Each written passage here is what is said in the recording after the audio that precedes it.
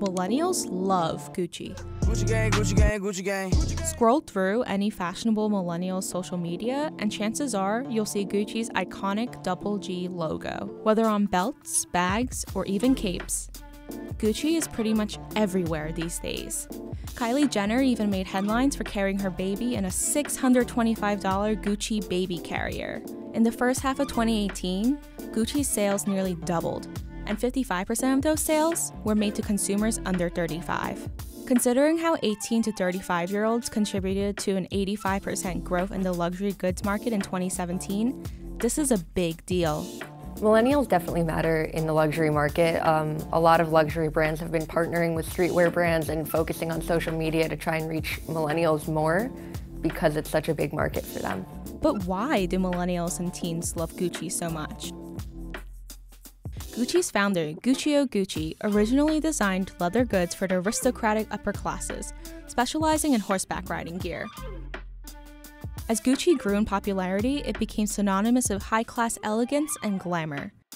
In the 1960s, Gucci was associated with people like Jackie Kennedy.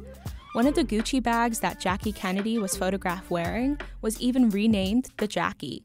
Today in 2018, Gucci is still very much an expensive luxury brand, but it's no longer exclusively for the elite.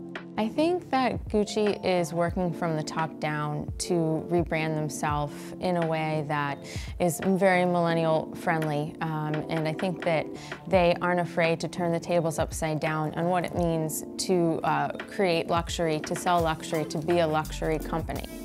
In 2015, Gucci brought on Alessandro Michele as their new creative director. Under Michele's leadership, Gucci has come to embrace streetwear and the influence of popular culture. Alessandro Michele is uh, creating uh, pop culture references at a time in which people are really searching for a little bit of nostalgia with something new. Um, and it's a formula that's really working. I think also um, Gucci is very honest about what they're doing and genuine, and that they know that their designs are a little bit out there to say the least. They're a little tongue-in-cheek, but they're, they're in on the joke, they're a part of the game, and uh, they love it. Recently, Gucci even collaborated with Dapper Dan, a Harlem based designer who became famous in the 80s for creating knock up designs of luxury brands like Gucci. Gucci's logo has come to represent more than just luxury or wealth, and millennials are embracing that, especially as logos continue to take over the fashion world again. There's several reasons why brand logos are making a big comeback. One, the most obvious being that everything 90s is back. And we know that logomania was a huge part of 90s fashion. Another reason why logos are making such a big comeback is that we're coming off of such a strong period of minimalism that where else do you go but the exact opposite with fashion. And another reason why I think the logo is making a comeback is that we're at a more comfortable place um, in society, in culture, in, in our economy, in, in wanting reassurance, in the money that we have and the money that we spend. Back in 2015, Gucci was actually considering using their logo less in designs.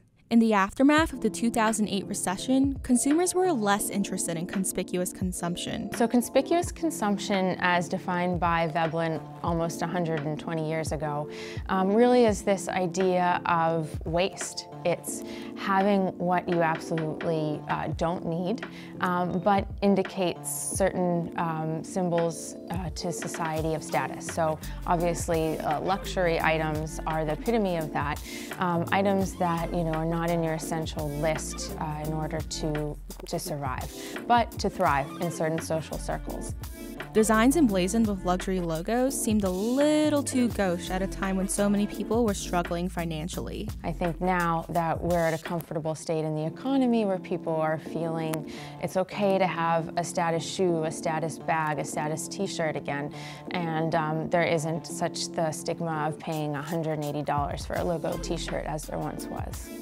Millennials and teens also love Gucci because so many of them grew up seeing Gucci on celebrities or in magazines. A lot of the um, people who are embracing the trends now just touched on the very tip of it um, in their youth, but now can fully expand into it um, ad nauseum as adults with disposable income to do so.